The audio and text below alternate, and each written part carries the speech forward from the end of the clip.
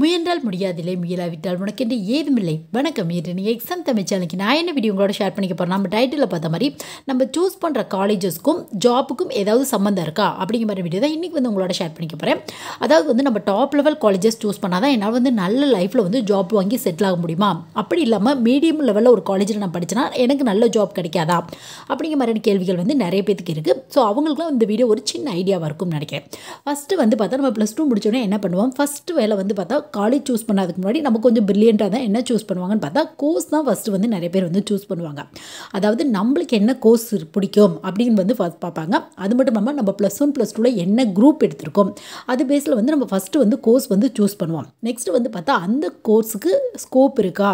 ஃப்யூச்சரில் ஏன்னா நம்ம ஒரு டிகிரி கம்ப்ளீட் பண்ணதுக்கு மூணு வருஷம் இல்லை நாலு வருஷம் ஆகும். ஸோ அந்த டைமுக்கு அப்புறம் அதுக்கு வந்து ஸ்கோப் இருக்குமா? ஜாப் கிடைக்குமா? அப்படிங்கிற மாதிரி வந்து சர்ச் பண்ணுவோம். நெக்ஸ்ட் வந்து பார்த்தா அந்த கோர்ஸை நம்ம எங்கே பண்ண போகிறோம் இந்தியாவில் பண்ண போகிறோமா அப்ராடில் பண்ண போகிறோமா இல்லை தமிழ்நாட்டில் பண்ண போகிறோமா வேறு ஸ்டேட்டில் பண்ண போகிறோமா அந்த மாதிரிலாம் நம்ம நிறைய வந்து யோசிப்போம்.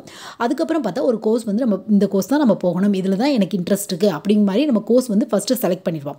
நெக்ஸ்ட் என்ன பண்ணுவோம்? நம்ம காலேஜ் கோர்ஸ் செலக்ட் பண்ணி முடிச்சா நிறைய ஸ்டூடெண்ட்ஸ் வந்து காலேஜ் வந்து செலக்ட் பண்ணுவாங்க. ஸோ அந்த மாதிரி நெக்ஸ்ட் வந்து அந்த கோர்ஸ் எந்தெந்த காலேஜில் இருக்குது அப்படிங்கிற ஒரு லிஸ்ட் வந்து நம்ம பார்ப்போம். அதில் வந்து எந்த காலேஜ் நம்மளுக்கு வந்து சூட்டாக இருக்குது அந்த மாதிரி வந்து பார்ப்போம். ஏன்னா ஃபஸ்ட்டு வந்து பார்த்தா ட்ராவல் தான் நிறைய ஸ்டூடெண்ட்ஸ் வந்து பார்ப்பாங்க. டே ஸ்காலரா இல்லை ஹாஸ்டலில் தங்க போகிறோமா அந்த மாதிரி வந்து செலக்ட் பண்ணிவிட்டு அப்புறம் வந்து பார்த்தா அந்த காலேஜோட டீட்டெயில்ஸ்லாம் நம்ம கலெக்ட் பண்ணுவோம்.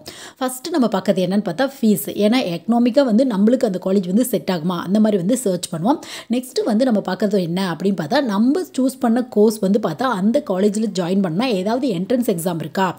இல்லை ஏதாவது கவுன்சிலிங் இருக்கா? அந்த மாதிரி டீட்டெயிலும் வந்து பார்ப்போம். அது மட்டும் இல்லாமல் ஃபீஸ் டீட்டெயில்ஸும் பார்ப்போம். இதுக்கப்புறம் நம்ம என்ன பார்ப்போம்? பிளேஸ்மெண்ட் எப்படி கொடுக்குறாங்க அந்த காலேஜில் அப்படிங்கிறத வந்து பார்ப்போம். நெக்ஸ்ட் வந்து பார்த்தா அந்த காலேஜில் ஸ்டாஃப்ஸ் எப்படி இருக்காங்க காலேஜ் வந்து எப்படி லொக்கேஷன் இருக்குது காலேஜில் பில்டிங்லாம் எப்படி இருக்குது இந்த மாதிரியான ஃபுல் டீட்டெயில்ஸ் வந்து நம்ம கலெக்ட் பண்ணுவோம். எப்பயுமே ஒரு கோர்ஸ் ப்ளஸ் காலேஜ் வந்து சூஸ் பண்ணோடனே நம்ம என்ன பண்ணணும் அப்படின்னு பார்த்தா அதாவது அந்த கோர்ஸ் முடிச்சோடனே அது வந்து மூணு வருஷத்துக்கான கோர்ஸாக இருக்கலாம் இல்லை இன்ஜினியரிங் கோர்ஸாக இருக்கலாம் ஃபோர் இயர்ஸ்க்கான கோர்ஸ் எந்த கோர்ஸாக வேணால் இருக்கலாம்.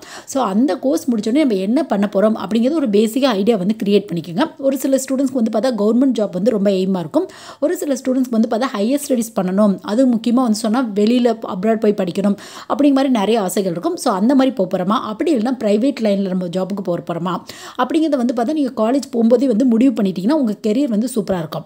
ஃபஸ்ட்டு வந்து நீங்கள் கவர்மெண்ட் ஜாப் தான் அப்படிங்கிறத டிசைட் பண்ணிட்டீங்க அப்படின்னா நீங்கள் வந்து ரொம்ப கோர்ஸ்க்கு வந்து இம்பார்ட்டன்ஸ் கொடுத்தா கொடுக்காம ஓரளவு ஒரு ஃபிஃப்டி பர்சன்டேஜ் சிக்ஸ்டி பர்சன்டேஜ் எடுத்தாவே போதும் அப்படிங்கிறத மைண்டில் வச்சுக்கிட்டு கிடைக்கிற டைமை ஈவினிங்கில் வீக்கெண்டில் இந்த மாதிரி நிறைய டைம் கிடைக்கும் உங்களுக்கு. அந்த மாதிரியான டைமில் நீங்கள் எந்த எக்ஸாமுக்கு ப்ரிப்பேர் பண்ணீங்க? அது எந்த எக்ஸாமாக வேணால் இருக்கலாம். யூபிஎஸ்சிலேருந்து ஆரம்பித்து எஸ்எஸ்சி ரயில்வே பேங்க்கு இல்லை தமிழ்நாடு கவர்மெண்ட்டில் கண்டக்ட் பண்ணுற TNPSC group one group two VAO எந்த எக்ஸாமாக வேணாலும் இருக்கலாம்.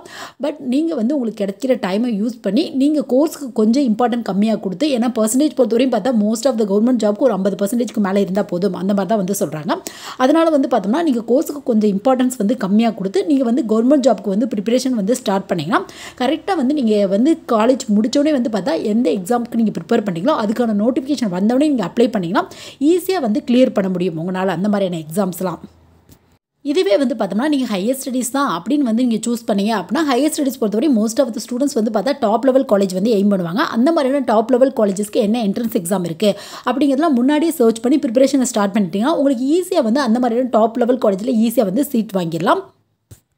நெக்ஸ்ட் வந்து பார்த்தா ப்ரைவேட் ஜாப் ப்ரைவேட் ஜாப் வந்து ரொம்ப முக்கியம் சொல்லலாம். ஏன்னு பார்த்தோம்னா நூற்றில் இப்போ நூறு பேர் படிக்கிறாங்கன்னா ஒரு பத்து பேர் தான் வந்து கவர்மெண்ட் ஜாப் வந்து சூஸ் பண்ணுவாங்க.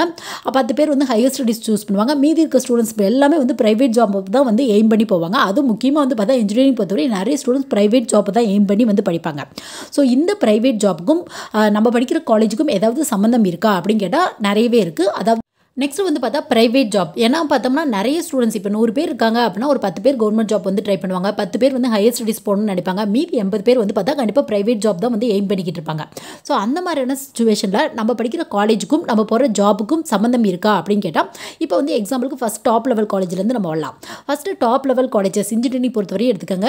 டாப் லெவலில் ஐஐடி என்ஐடி இந்த மாதிரியான காலேஜஸ்லாம் இருக்குது இதே மாதிரி ஆர்ட்ஸ்க்கும் நமக்கு டாப் லெவல் காலேஜில் நிறைய இருக்குது ஸோ இங்கேலாம் வந்து படிக்கிறனால என்ன யூஸ் அப்படின்னு பார்த்தா மோஸ்ட்லி வந்து பார்த்தா ஒரு நைன் நைன்ட்டி நைன்ட்டி ஃபைவ் பர்சன்டேஜுக்கு மேலே நமக்கு பிளேஸ்மெண்ட் வந்து கொடுத்துருவாங்க. பட் இதுக்கு நம்ம என்ன பண்ணோம் அப்படின்னு பார்த்தா ப்ளஸ் ஒன் ப்ளஸ் டூ நல்ல மார்க் வந்து ஸ்கோர் பண்ணிக்கணும் அப்போ தான் வந்து நம்மளுக்கு இந்த மாதிரியான டாப் லெவல் காலேஜ் கிடைக்கும். அப்படி இல்லைன்னா என்ட்ரன்ஸ் எக்ஸாம் வைப்பாங்க. இப்போ ஐஐடி என்ஐடிலாம் நீங்கள் எய்ம் பண்ணிங்கன்னா ஜேடபிள்யூ மெயின் இந்த மாதிரியான என்ட்ரன்ஸ் எக்ஸாம்லாம் கிளியர் பண்ணுற மாதிரி இருக்கும். ஸோ கிளியர் பண்ணோடனே நம்மளுக்கு வந்து அந்த மாதிரியான காலேஜ்லாம் கிடைக்கும். பட் ஃபீஸ் லெவல் கொஞ்சம் ஹையாக தான் இருக்கும் உங்களுக்கு. அந்த மாதிரி ஃபீஸ் கட்டி நீங்கள் படிக்கும்போது ஃபைனல்லேயே வந்து கண்டிப்பாக வந்து உங்களுக்கு பிளேஸ்மெண்ட் வந்து கொடுத்துருவாங்க. ஒரு நைன்ட்டி டு நைன்ட்டி ஃபைவ் பர்சன்டேஜுக்கு மேலே வந்து பிளேஸ்மெண்ட் வந்து கொடுத்துருவாங்க. அது மட்டும் இல்லாமல் வந்து பார்த்தா சேலரி பேக்கேஜும் உங்களுக்கு சூப்பராக வந்து தருவாங்க. ஸோ அதனால வந்து பார்த்தா டாப் லெவல் காலேஜ்லாம் நீங்கள் வந்து எய்ம் பண்ணிங்கன்னா கண்டிப்பாக வந்து நல்ல ஒரு ஜாப்பே கிடச்சிரும்னு வந்து சொல்லலாம். அது மட்டும் இல்லாமல் சேலரி பேக்கேஜும் உங்களுக்கு சூப்பராக இருக்குமே வந்து சொல்லலாம். நெக்ஸ்ட் வந்து பார்த்தோம்னா ஒரு மீடியம் லெவல் காலேஜ் வந்து நீங்கள் சூஸ் பண்ணுறீங்க ஏன்னா ப்ளஸ் டூவில் இங்கே ஒரு ஆவரேஜாக தான் மார்க் வாங்கியிருக்கேன் ஒரு மீடியமான ஒரு இன்ஜினியரிங் காலேஜோ ஒரு ஆர்ட்ஸ் காலேஜ் சூஸ் பண்ணுறீங்க அப்போ உங்களுக்கு எப்படி ஜாப் கிடைக்கும் அப்படின்னு பார்த்தோம்னா ஜாப் பொறுத்தவரையும் மீடியம் லெவல் காலேஜிலும் நிறைய பிளேஸ்மெண்ட் கம்பெனிஸ்லாம் வந்து போகிறாங்க முக்கியமாக வந்து ஐடி ரிலேட்டடான கம் கம்பெனி வந்து நிறைய வர்றாங்க. அதனால் வந்து பார்த்தோம்னா உங்களுக்கு வந்து பிளேஸ்மெண்ட் கிடைக்கணும். அப்படின்னா நீங்கள் என்ன பண்ணலாம் அப்படின்னு பார்த்தோம்னா நீங்கள் வந்து பார்த்தா கம்யூனிகேஷன் ஸ்கில்ஸ் அது மட்டும் இல்லாமல் ஆப்டியூட் ஸ்கில் அது மட்டும் இல்லாமல் வந்து பார்த்தோம்னா டெக்னிக்கல் ஸ்கில் இந்த மாதிரியான ஸ்கில்ஸ்லாம் வளர்த்துக்கிட்டீங்க கண்டிப்பாக உங்களுக்கும் பிளேஸ்மெண்ட் கிடைக்கிறக்கான வாய்ப்புகள் நிறைய இருக்குது பட் இதுக்கு என்ன நீங்கள் பண்ணணும் அப்படின்னு பார்த்தா ஃபஸ்ட் இயர்லேருந்தே வந்து பார்த்தா அந்த மாதிரியான கம்யூனிகேஷன் ஸ்கில்லாம் வந்து டெவலப் பண்ணணும். அது மட்டும் இல்லாமல் ஆப்டியூட் ஸ்கில் டெக்னிக்கலாக உங்கள் சப்ஜெக்ட் மட்டும் இல்லாமல் டெக்னிக்கலாக எதுலையாவது ஒன்றில் வந்து நீங்கள் ரொம்ப ஸ்ட்ராங்காக இருந்தீங்கன்னா கண்டிப்பாக வந்து பிளேஸ்மெண்ட் கிடைக்கிறக்கான வாய்ப்புகள் நிறைய பேர் இருக்குது இது வந்து மீடியம் லெவல் காலேஜ் வந்து நீங்கள் சூஸ் பண்ணும்போதே.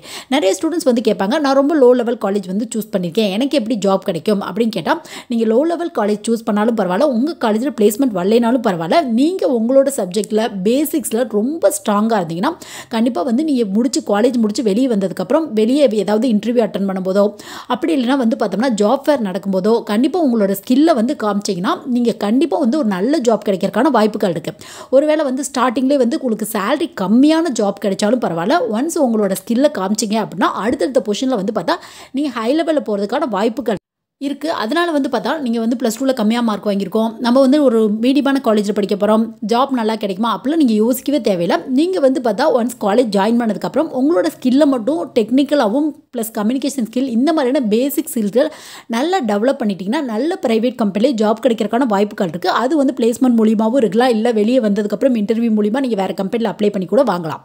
இது எல்லாமே உங்கள் ஸ்கில் ப்ளஸ் நாலேஜ் பேஸில் மட்டும்தான் இருக்குது அதனால் வந்து ஜாயின் பண்ணுற காலேஜுக்கும் அதுக்கப்புறம் நம்ம போகிற போகிற ஜாப்புக்கும் கண்டிப்பாக வந்து ரிலேஷன் இருக்குது நம்ம காலேஜ் பொறுத்து நல்ல ஜாப்ஸ் கிடைக்கிறதுக்கான வாய்ப்புகள் கூட இருக்குது பட் நம்ம வந்து ஃபீல் பண்ணாமல் நம்ம ஓரளவு மீடியமான காலேஜில் படித்தாலும் பரவாயில்லன்னு சொல்லி நம்மளோட ஸ்கில்லை கண்டிப்பாக வளர்த்துக்கிட்டோம்னா கண்டிப்பாக பெரிய பெரிய கம்பெனிஸில் ஜாப் கிடைக்கிறதுக்கான எக்கச்சக்கமான வாய்ப்புகள் இருக்குது உங்களுக்கு. ஸோ அதனால் வந்து நம்ம எந்த காலேஜில் ஜாயின் பண்ணாலும் பரவாயில்ல. நம்மளோட நாலேஜ் ப்ளஸ் ஸ்கில்லை மட்டும் டெவலப் பண்ணிக்கிட்டே இருந்தால் கண்டிப்பாக வந்து நம்மளுக்கு நல்ல கெரியர் அமையும் அப்படிங்கிற எந்த விதமான கேள்விக்குறியுமே இல்லை அதனால் வந்து பார்த்தா டாப் லெவல் காலேஜில் படித்தும் சேலரி ரொம்ப கம்மியாக வாங்குறவங்க இருக்காங்க. ஓரளவு மீடியமான காலேஜில் படித்து அதிகப்படியான சேலரி வாங்குறவங்க அப்ராட் போய் லேக் கணக்கில் சம்பாதிக்கிறவங்க கூட இருக்காங்க. இது எல்லாமே நம்மளோட ஸ்கில் ப்ளஸ் நாலேஜ் பேஸில் மட்டும்தான் இருக்குது ஸோ இந்த வீடியோ கண்டிப்பாக நிறைய பேருக்கு யூஸ்ஃபுல்லாக இருந்திருக்கும்னு நினைக்கிறேன். எனவே தேங்க்ஸ் ஃபார் வாட்சிங்